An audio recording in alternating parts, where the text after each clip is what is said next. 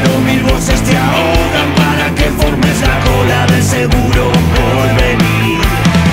Por eso te vi escapando en las horas y